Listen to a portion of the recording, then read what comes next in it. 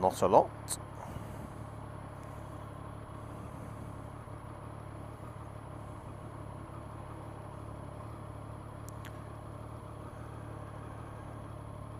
Actually, one thing I have been up to, I went to see um,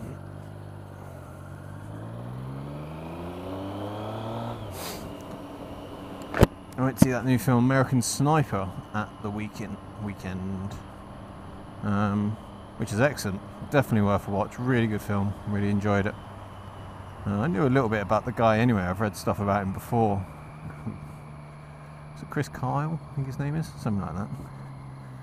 Um, the most like lethal sniper in American history is the sort of byline of it. Uh, really, really good film. Definitely worth a watch. It's not, you know, you'd be tempted with that kind of, because anytime they mention him, they always say that, oh, America's most decorated or most lethal sniper in American history. And you're like, oh, fuck me, this is going to be some real sort of banner waving here.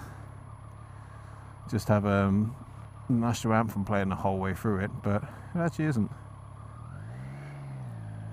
Um, you know, it touches on that slightly, like his motivations behind it. Why the hell you'd do a job like that? Um, or why he would.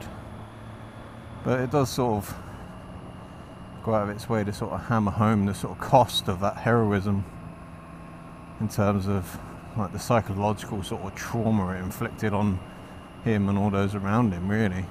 Um, and like the things he has to do like I said, there's no way that you would come back unscathed from that. Really, it's pretty, um, pretty harsh. It's quite a sad film.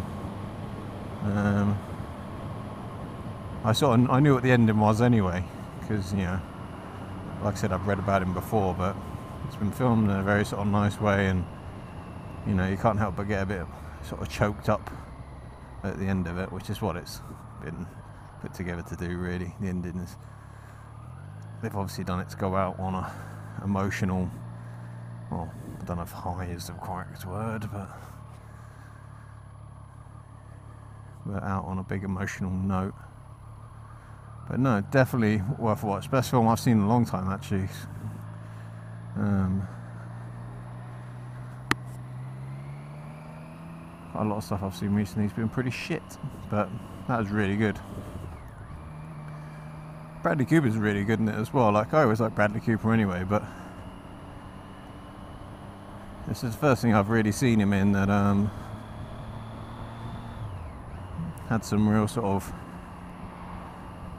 sort of deep emotion to it. I know he's done sort of dramas before, like you know Silver Lining Playbook and all that kind of shite, but it's definitely a really good performance from him. Good performance from Sienna Miller as well. Once again, like Eastwood just nailed it. I mean, does have a hell of a knack for this directing malarkey. There aren't that many films of his I've seen that I was never that big a fan of. Um, one of his best yet, maybe, I don't know. Like I said I like I've liked a lot of his films, but he always kind of makes those films that I don't want to watch again. Like I'm a massive movie fan, and I will happily sit and watch the same movies over and over again, along with all the new stuff that comes out. And that I would actually watch again. Whereas, like, you know, he has made loads of other really good films, you know, films like Gone, uh, not Gone Girl, what's her name? Million Dollar Baby and all that kind of carry on. Um, but as good as that, those sort of films are, I wouldn't want to watch them again. But this, I definitely would. So there you go. Not the most in-depth uh, review in, in the world. I don't think I'm going to get much of a career out of that one, but what more do you need to know? It's extremely good It's definitely worth watching. I would definitely go see it.